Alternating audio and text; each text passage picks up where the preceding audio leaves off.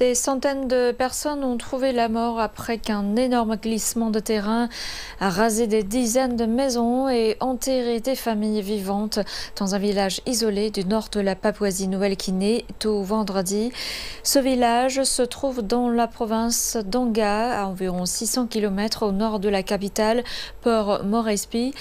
Des équipes de secours se sont rendues sur place pour aider à retrouver les personnes ensevelies sous des euh, des técombres et des boues.